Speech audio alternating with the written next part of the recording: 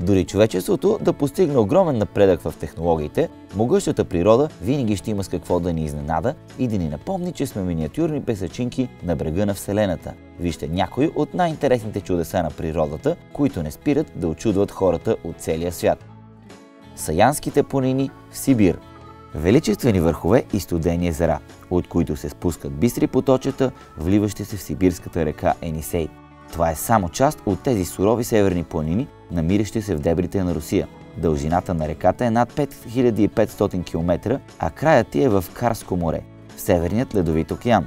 От 1944 г. този изолиран район бива затворен от съветското правителство.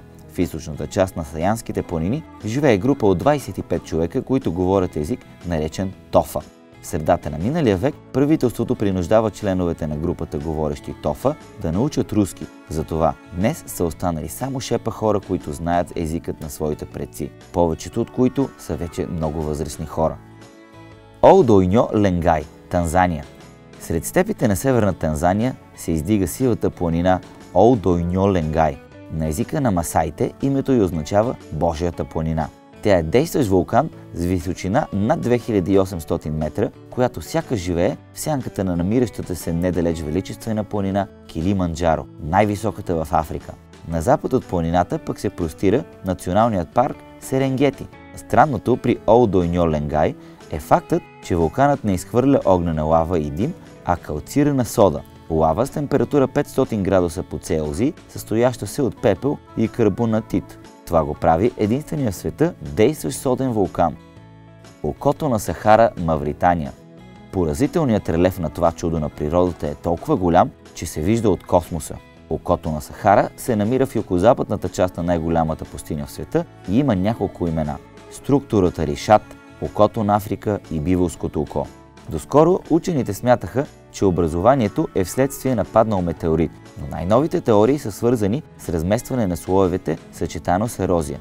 Има и други тези, че това е неизригнал вулкан или че вулканът е изригнал преди около 100 милиона години.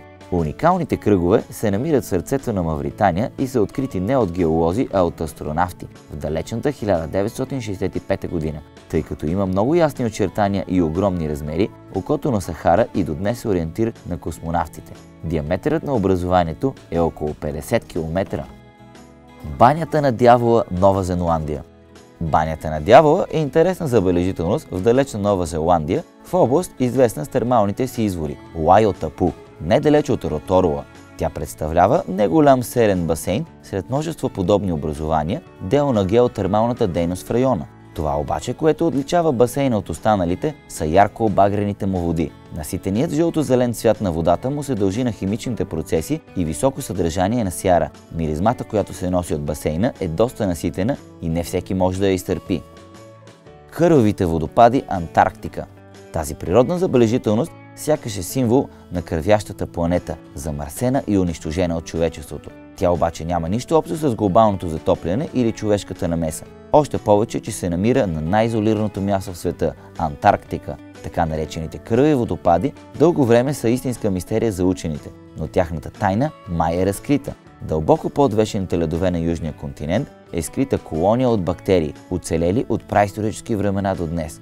Те не могат да излязат от другаде, затова извират през тези отвори. Бактериите се хранят с сяра, а червеникавият цвят на водата се дължи от съдържанието на железен оксид. Ако ви е харесала и тази класация, дайте по един лайк.